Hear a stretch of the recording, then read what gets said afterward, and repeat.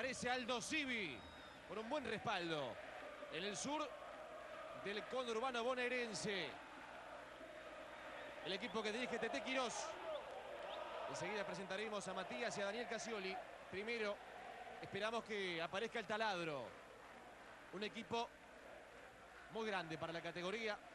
Después de varias temporadas, más de una década, regresa a la B Nacional. Y el objetivo es subir de inmediato.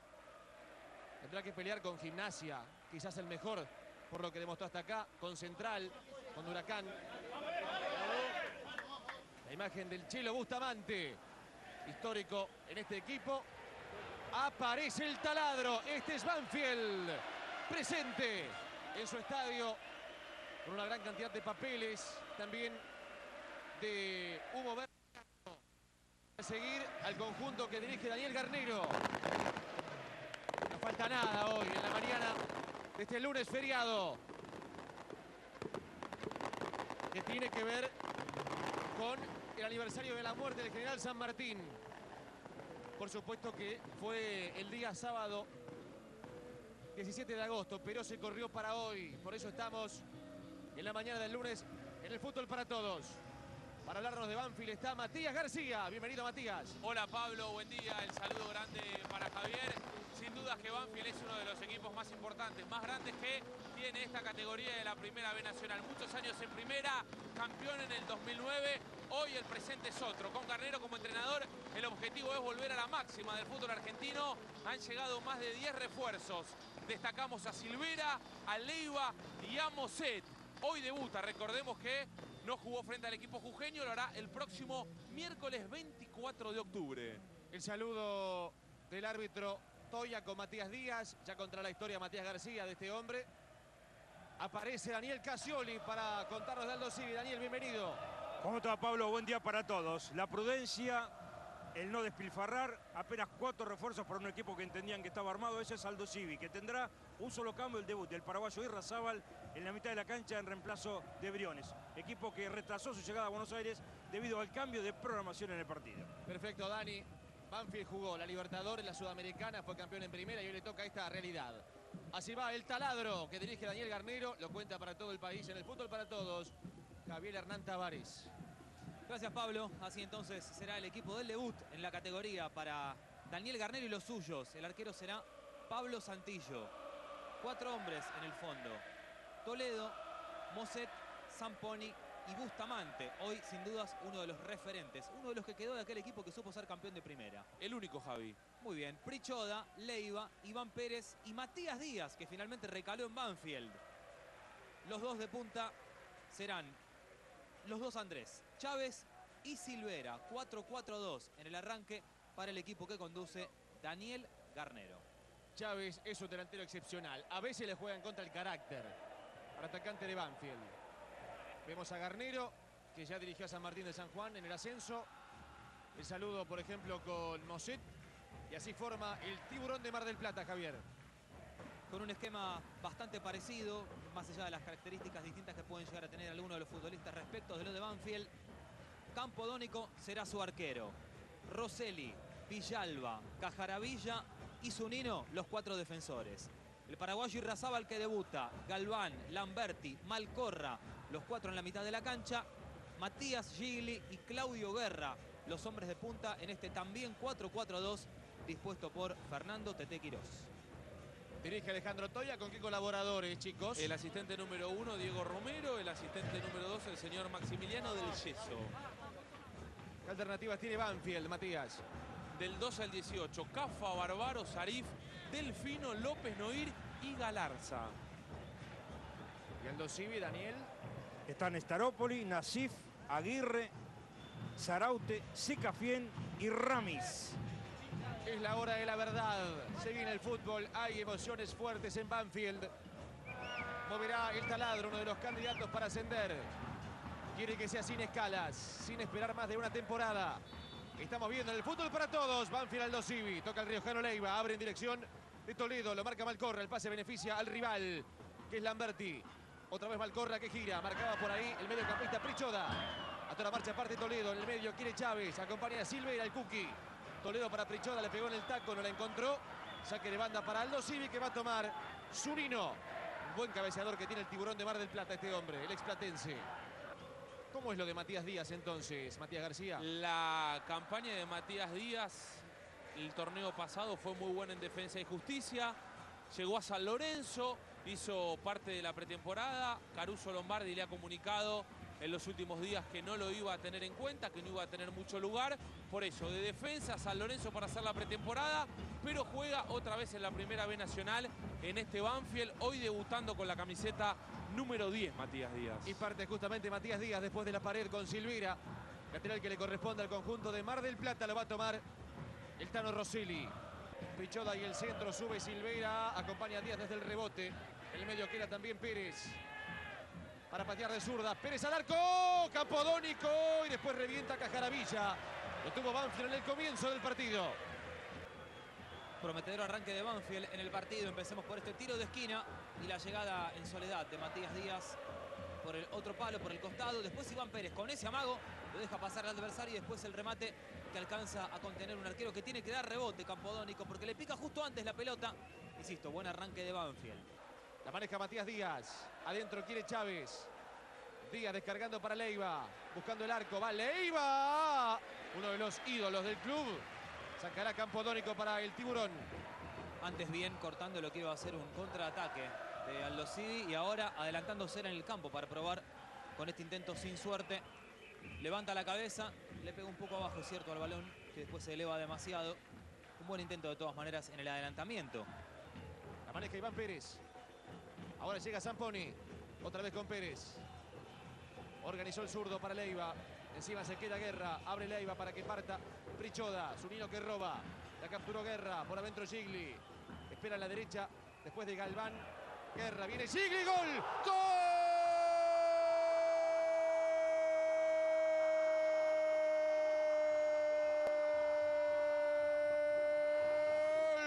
De Aldo Civi Gigli.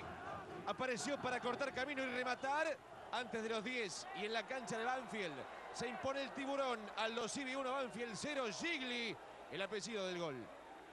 Banfield es el que manejaba la pelota, el que tomaba la iniciativa y el que parecía tener el control del encuentro también. Sin embargo, en Aldo Civi está este delantero que sigue encendido como en gran parte de la temporada anterior. Allí recupera la pelota a Zunino y desde aquí va a partir el pase. Excelente a la espalda del defensor por parte de Galván. Gigli pica perfectamente habilitado y después define con un toque sutil de primera ante una salida desesperada para cerrarle el camino de Santillo. Así entonces Aldo Civi en menos de 10 minutos sorprende a Banfield. En cara Prichoda coloca un centro para que lo empate Silveira, le queda de frente a Díaz. Cerró Rosselli. Y después hay una infracción de Iván Pérez para el tiburón contra Guerra. Lo que hizo Garnero fue animar y alentar a sus futbolistas. Le pide a Prichoda que encare siempre por la derecha, que busque el mano a mano con el lateral.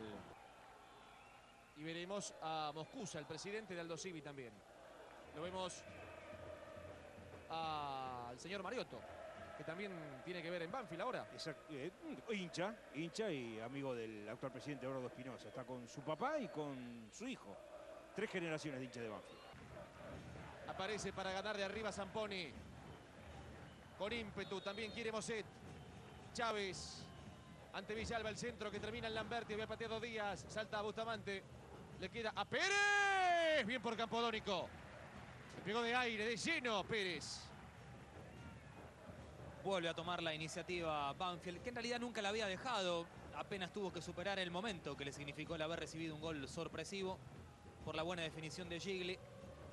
El remate de volea y de primera de Pérez. Miren este, este taco sencillo y a la vez práctico y eficaz de Gigli. Podríamos en todo caso evaluar después cuál era la posición de guerra cuando partía el pase. Este taco, genial. Y efectivo de Gigli, después muy bien Santillo abajo. Decías que va a jugar tres años más Gigli, Daniel, en Aldo Civi. Sí, nos lo dijo el presidente. Aquí podemos observarlo. Primero va con la cabeza Zunini y luego y no aplica el codo. Va mal con el brazo. A ver. Esa expulsión. Esto es jugada roja directa. ¿eh? Va directamente a golpear Zunino sobre el rostro de Prichoda. Primero lo va observando en el movimiento al adversario. Y después va y aplica el codazo, que si bien no llega a ser tan fuerte como en algunas otras ocasiones. Sí lo que se debe medir aquí es la intención. ¿Qué quiere hacer Zunino? Directamente ir y golpear con el brazo o incluso con el codo a Prichoda. No advertido ni interpretado esto de la misma manera por el árbitro, que insisto, no lo observó así, tampoco señalado esto por el asistente, pero ayudados nosotros por las repeticiones, podemos advertir que Zunino aquí se equivocó y debió ser expulsado. Zunino hablaba con Garnero, no lo vi, fue sin querer. No, no fue así Dani esta vez. ¿eh? Mete el pase Moseta al área de Aldo Civi. También quiere Chávez, acompaña a Silveira, se mete Bustamante. Llega Bustamante, Campodónico. Se le sacó del pie al capitán de Banfield. 34 y Banfield busca el empate. Prichoda contra Galván. Centro de Prichoda para Silveira. Va el Cookie que va a patear. El Cookie Silveira.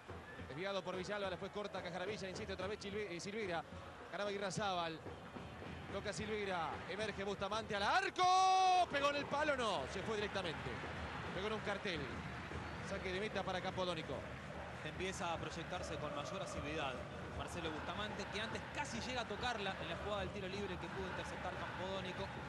Y aquí después de un rechazo y del pase atrás que va a recibir aquí del Cookie Silvera, opta por el remate directo Franco. La pelota no se va lejos. Le cuesta llegar, le cuesta aproximarse con peligro a Banfield, que sigue siendo el equipo que maneja la pelota, lo que no quiere decir que maneja el partido. Centro de Irrazábal para el conjunto marplatense. Desde el rebote puede ganar de cabeza Galván. Ahí se mete Galván. Irrazábal. Galván que solo. Galván. Santillo al córner. Las libertades que le dieron a Galván son notables, notorias y preocupantes. Los dos equipos han tenido inconvenientes para marcar en las pelotas detenidas. Y así es como Galván queda totalmente libre. Miren, para sacar este cabezazo de pica al suelo después. Notable la respuesta del arquero Santillo. Y en el segundo tiempo puede aparecer Ramis en el Dosivi, Daniel. Seguramente, ¿eh? el uruguayo tiene unas ganas, 22 años, los corre a todos. ¿eh? El Usain Bolt uruguayo. Es increíble lo que corre. Tocando Díaz, Chávez para empatarlo. ¡Chávez! Campodónico de rebote, viene Díaz. Para mí no pasó nada. Cuando fue el suelo, Villalba contra Matías Díaz. Revienta después Rosselli. No pasó de todo, ¿eh? Primero la buena acción de Díaz, que arranca allí en su propio campo. Llevará la pelota en diagonal. Ahí va.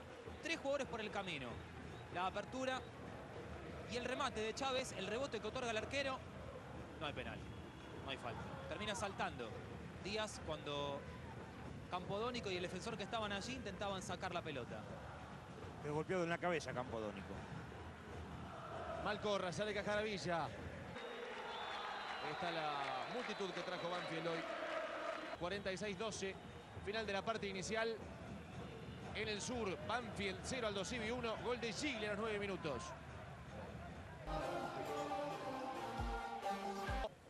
Se apoyaba Lamberti en Malcorra. Roba Leiva. Sale para la posición de Iván Pérez. Prichoda. Pérez de nuevo. Adentro corre Silveira. Para patear Díaz al arco. ¡Díaz! Campodónico. Lo va a empatar Chávez. Chávez se lo perdió Banfield. No tengo explicación desde la lógica, desde el raciocinio. Quizás sí Javier Tavares un calco ¿eh? de lo que fue el arranque del partido, con Banfield presionando, manejando mejor la pelota. Ahora es Díaz el que después de este movimiento saca el muy buen zurdazo, excelente respuesta de Campodónico. Y lo que trata de realizar Chávez es priorizar la colocación en el remate en cuanto a la potencia.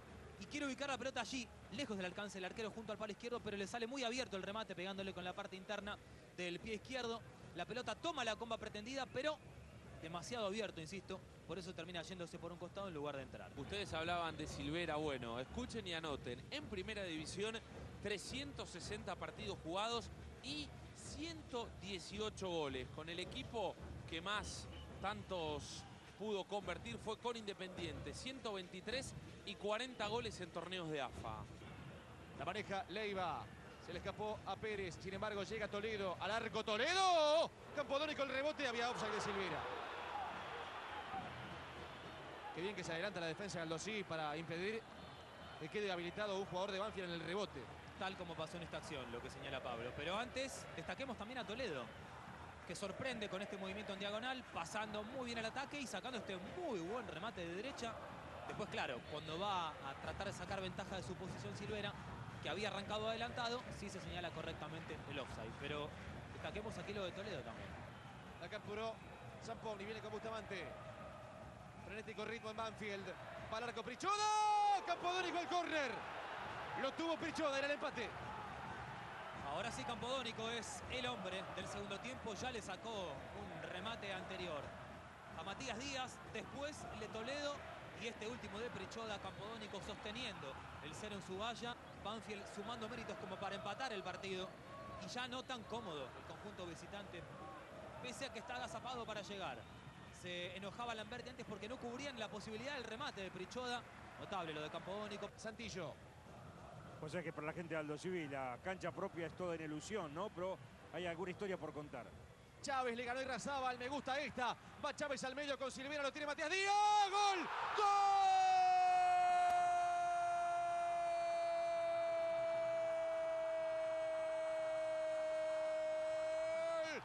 Banfield lo empató Matías Díaz, que era el mejor del taladro. En el segundo tiempo a los 20. Banfield 1 al 2 y 1 Díaz, el apellido del gol. Y después de tres intentos, esta vez la cuarta fue la vencida para Banfield. Muy buena acción colectiva. Excelente el movimiento de Chávez. Primero sin pelota y después asistiendo a Matías Díaz que llegaba acompañando desde atrás sin apresurarse. Por el contrario, tocando sutilmente la pelota para colocarla junto al palo izquierdo, lejos del alcance de Campodónico y así por fin poder vencer la resistencia del buen arquero del conjunto visitante. Santillo es el que le empieza con este largo envío, la pelota que lo supera al paraguayo Irrazábal. Aquí es donde gana, con su velocidad y con astucia, el delantero Chávez. Y después, sin apurarse tampoco, el pase hacia atrás, sabiendo que por allí iba a llegar Matías Díaz, que de primera ya tenía decidido dónde iba a ejecutar este remate perfectamente direccionado. Nada puede hacer Campodónico, se confió demasiado en los Civi, asumió ese riesgo y así lo paga. Ahora están iguales. Ataca Banfield por el segundo. Centro de Toledo. Marca Lamberti y sale para el Dosivi. Se apoya después en el jugador Malcorra. Por el medio pica Ramis, que es rapidísimo. Va a ganar Ramis. Llega Ramis. Santillo se la jugó. No le pueden dar esa ventaja al uruguayo. Juega de espaldas Silveira. Tocó para Matías Díaz. No puede Galván. Díaz de nuevo. Buscando un perfil. López al arco. Saque de beta para Campodónico. Díaz es el jugador del segundo tiempo. Y después López tuvo una buena idea, ¿eh? En tratar de pegarle de primera con la parte interna para colgar la pelota del ángulo lejos del alcance de Campodónico.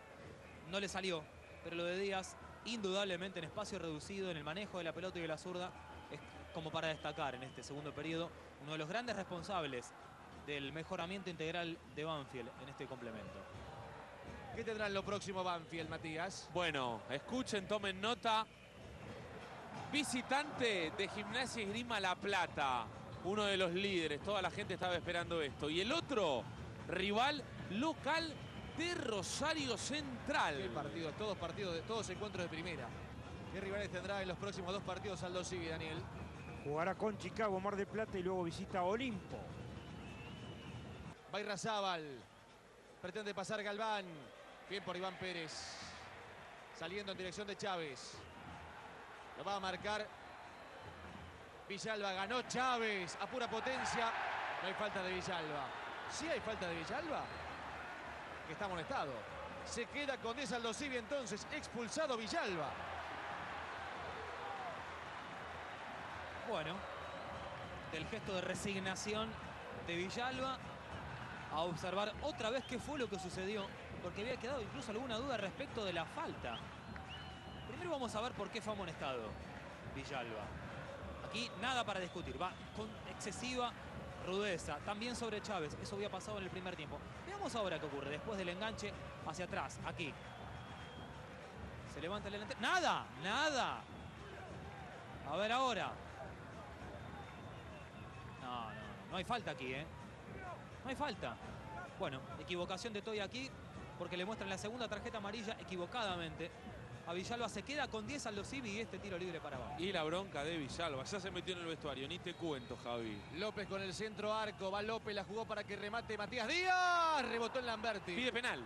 Pero me parece que le pegó en la espalda. López y otro centro. Se queda por ahí Zamponi. Contestaba Briones. Contraataque con Ramis. Que tiene mucha velocidad. Por afuera pica Secafien. Ramis. Lo encontró Secafien. Para y remata. Frena y patea. Secafien. bien. Lo tuvo Aldo Civi de contraataque. Buenísimo el partido, ¿eh? muy entretenido, de ida y vuelta. Lo tuvo Banfield con la acción de pelota detenida y recién con una contra fantástica, trabajada por Ramis, que va llevando la pelota, conduciendo, hace la pausa y aquí va el pase en diagonal para Secafien, que no define de primera. Engancha hacia adentro y después si le pega de zurda, tratando de colocar la pelota junto al palo derecho, qué cerca se pasa ese disparo. Otra variante en Banfield. Ovación total de todo el público local para el 9. Andrés Chávez dejó la cancha. Ingresa otro de los refuerzos. Tito Noir, camiseta número 17. A propósito de la expulsión, le vamos a pedir después a nuestro director, el señor Prieto. Aquí la tenemos, para quitarnos cualquier duda. Ahí hay una sujeción, ahí hay una sujeción. Ahora la pregunta es, ¿es suficiente como para que Chávez caiga después como cae? No, de ninguna manera, ¿eh? No, no. Y aquí se pedía penal. A ver, va a llegar el remate de primera de Díaz, tampoco es penal. López que levanta en el lugar donde hay mucha congestión. Marcaba Zunino.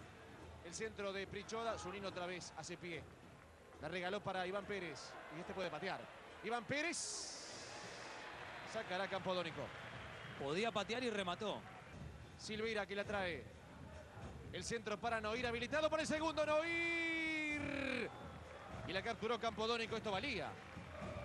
Sí, porque dejaban seguir. A mí me quedó la duda respecto de la posición de Noir cuando partía el centro de Silvera. Lo quiere ganar Banfield en el final. Se va a producir la última variante en Banfield. Escuchen, sientan el reconocimiento del público para el 10, para el goleador de Banfield. Hablamos de Matías Díaz que se va, ingresa con la 14, Bárbaro. Y ¿Cuánto se van a jugar ¿Tres? tres minutos más, querido Pablo. Mientras contaba el cambio Matías, observábamos que estaba perfectamente habilitado Noir cuando llegaba al centro de Silvera.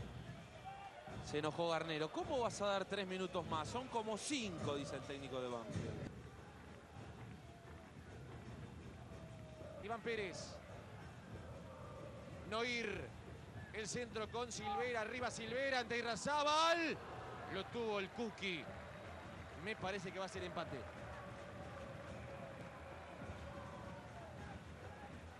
La búsqueda final le pertenece a Banfield, que en definitiva y en el balance fue el que más intenciones y ganas mostró de querer ganar el partido, aun cuando estaba 0 a 0. El premio termina llevándoselo Aldo Civi porque supo sacar la ventaja y porque ahora, por las circunstancias del partido, también se va contento con el empate. Es el final. Banfield 1 al 2 1.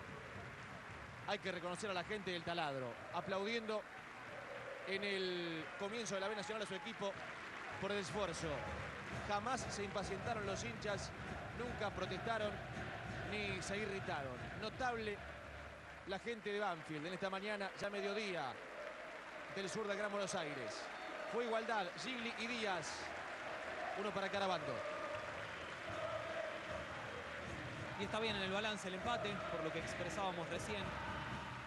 Si lo juzgáramos como si esto fuera un combate, entenderíamos que por puntos debió ganarlo Banfield la búsqueda. Pero bueno, tenemos la posibilidad de conversar con alguno de los protagonistas. Sí, con Matías Díaz lo marcábamos uno de los refuerzos y una de las figuras. Bueno, Matías, recién Javier decía, Banfield daba la sensación que tal vez mereció un poquito más. ¿Lo sentís de esta manera vos también?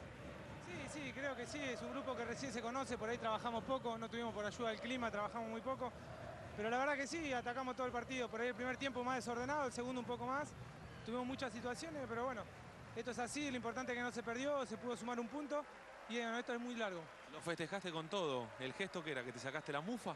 Sí, sí, la verdad que sí, tuve un periodo de pase muy complicado, la verdad que se lo dedico a mi familia porque lo que viví yo no se lo deseo a nadie y más por la familia que es la que sufre, mi señora, mis hijos, mi hermano, mis viejos que, que estuvieron siempre conmigo y bueno, y toda la gente que me apoyó siempre, que está conmigo y bueno, se los agradezco a todos porque la verdad que esto es energía de todos. ¿Qué pasó? ¿Te faltaron el respeto? Yo ya lo dije, ya está. Eh, San Lorenzo es mi pasado, hoy es Banfield, hoy me debo a Banfield, la verdad que el tema ya está resuelto, ya lo, lo solucioné y bueno, ahora pienso solamente en Banfield y sacar las cosas adelante y hacer un buen torneo para esta gente que nos apoyó y espero que nos siga apoyando. Gracias, Matías. No. La palabra de Matías Díaz. Y vino un chubutense también. Sí, un hombre de Chubut, me dicen de la cabina. Bueno, Cookie, ¿cómo viste al equipo en este primer partido? Bien, eh, mejor, mucho mejor en el segundo tiempo. Los primeros, los primeros minutos ellos con una pelota, la primera que llega no convierten, así que nos costó un poco remontarlo porque ellos se metieron atrás y, y salía de contragolpe, pero creo que hicimos un buen segundo tiempo, tuvimos situaciones como para poder ganarlo, eh, pero bueno, creo que de esta manera vamos a sacar buenos resultados. ¿Sentís que con el rodaje han tenido los refuerzos también buenos rendimientos? ¿Sentís que este equipo va a pelear, que va a buscar ese objetivo que es volver a la máxima del fútbol argentino? Esa es la idea, de que se, de que se empezaban a venir los jugadores y pidió Dani, era la idea tratar de llegar lo más lejos posible, tratar de, de aguantar un año y subir. Eh, esa es la idea, así que estamos trabajando para eso. Gracias. Chao. La palabra del Cookie Silvera.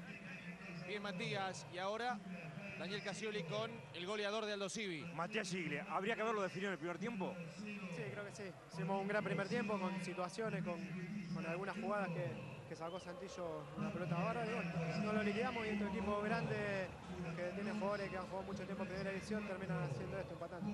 Antes del partido, un empate acá era buen resultado. Por el trámite, de pronto no tanto. Y creo que no, por, por cómo se dio el primer tiempo. Por ahí al segundo tiempo no tuvimos la pelota, eh, Banfield nos empujó, no pudimos sacar una contra como para definirlo. Eh, por ahí fue un empate justo, pero como decía vos, eh, por el trámite del primer tiempo podíamos llevarnos algo más. Gracias, Matías. Y cerramos con Walter Zurino. Sí. ¿Y Zurino? Sí, buen punto. Creo que como se había dado el partido lo queríamos ganar, pero después la realidad es que en el segundo tiempo fue superior a Banfield y creo que, que merecía el empate. ¿Se imaginaba, se había charlado en el vestuario que en el segundo tiempo Banfield se iba a venir con todo? Sí, sabíamos que iban de ventaja y, y que tienen un gran equipo con, con muy buenos jugadores. Eh, lamentablemente no, no lo pudimos plantear más en el medio como era la idea para salir de contra. La verdad que se nos venían y bueno, creo que, que el empate terminó siendo justo. Gracias. ¿eh?